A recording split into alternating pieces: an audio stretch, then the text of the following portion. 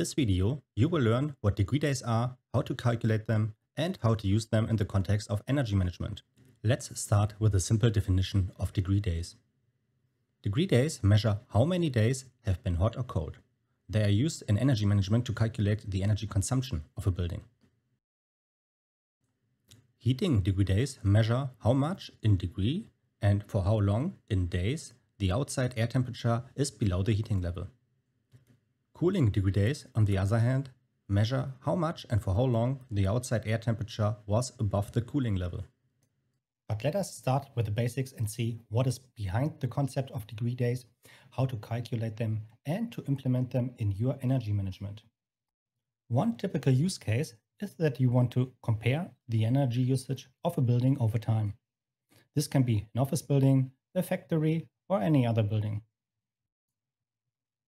Normally, you have the energy consumption on an annual basis, monthly basis, or maybe even on a daily basis. And now you want to track the energy performance. A second use case is that you want to compare different buildings on different locations. This might be a hotel portfolio with multiple locations and you want to compare the energy performance of the different locations in different climate zones. Let's dig a little bit deeper and see what factors affect heating and cooling demand. In general, you can distinguish between internal and external factors. The internal factors are the ones you have an influence on because they are inside your organization and you have leverage for optimization potential. One big internal factor is our behavior, the human factor. Another important internal factor to take into account is the occupancy of your building or the workload of your factory. For example, if you have a lot of empty space, you might be able to reduce your energy consumption by using it more efficiently. And if you're running a three shift 24 hour operation, you have to take other things into account than running a 9 to 5 office building. Materials and technology are a big part of your heating and cooling demand. There are a lot of different technologies that can help you to reduce your energy consumption for heating and cooling. Investing in good insulation materials, modern HVAC components, smart sensors with an energy management software can help you to do that. And last but not least, we have external factors. These are things we have no influence over, like the weather. Every kid knows that on colder days you have to run your heater on a higher level and consume more energy, vice versa for AC usage on hot days. In the next part, we will explore how outside temperatures affect energy consumption and why degree days are so important for accurate data analysis. Most parts of the world, we have changing outside temperatures throughout the year. In the Northern Hemisphere, a typical monthly average temperature diagram might look like this. As you can see, there's a cold period in winter and a hot period in summer.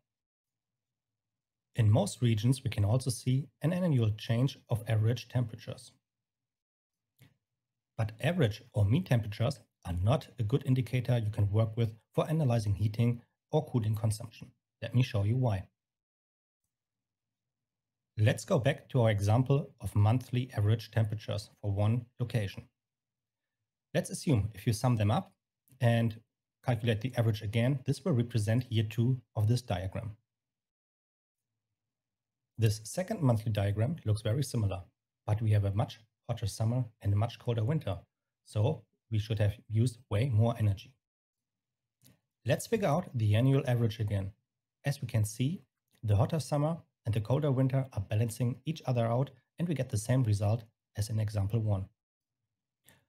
Now you know that outside temperatures, especially mean or average temperatures over longer periods, are not suitable for energy assessment. And we can finally come to the concept of degree days. In the following example, I show you how to calculate heating degree days for one month. Degree days are based on the outside temperature. In this example, we take the daily mean temperature for one month. In the next step, we set the base temperature of our building. The heating base temperature is the outside air temperature below which the building needs heating. Now we check every day if the outside air temperature was dropping below our base temperature. These days are called heating days. For each heating day, we calculate the difference between our base temperature also called balance point, and the outside temperature. On this day, the outside temperature was dropping below our balance point of 15 degrees Celsius. The difference is 2 Kelvin, so this specific day counts as two heating degree days. This calculation is done for every single day. Days where the outside temperature is not dropping below the base temperature are counted as zero. Degree days are a measure of how many days in a given period of time the outside temperature was how many degrees below or above your base temperature. You can do this calculation on a daily basis, but for the most analysis, we sum the degree days up to a weekly, monthly, or even annual number. Let's go back to the example of the beginning of this video and see how we can integrate the concept of degree days into the energy assessment of our office building. If you take a look at the absolute kilowatt hours, you can see a small decrease from 2019 to 2020 and then a 15% increase from 2020 to 21. Let's integrate degree days in our assessment. You simply divide your energy usage by the number of degree days. This value shows you how many kilowatt hours you needed for every single degree day in this period. The lower that number, the better is your energy performance. In this example, we see a pretty stable efficiency ratio, although in absolute numbers, the usage had a big increase of 15% in the last year.